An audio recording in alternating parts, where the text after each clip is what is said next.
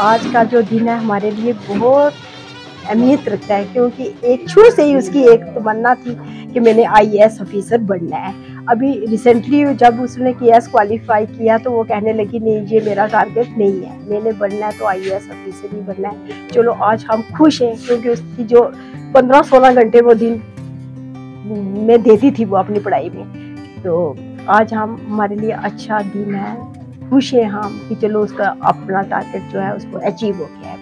बेटी बेटियों को फ़र्क नहीं है ये तो हमें सब हमें दो बेटी हैं हमें कुछ कोई फ़र्क नहीं है ना बेटा हो हम बेटियों बेटियों को अच्छे अब यही चाहते हैं लोगों को बेटियों को पढ़ाना चाहिए अच्छी शिक्षा देनी चाहिए कोई रोक टोक नहीं करनी चाहिए।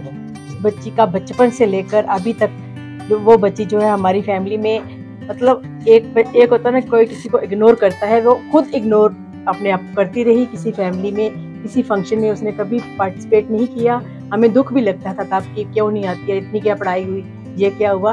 बट अब हम सोचते हैं कि वो बिल्कुल ठीक थी।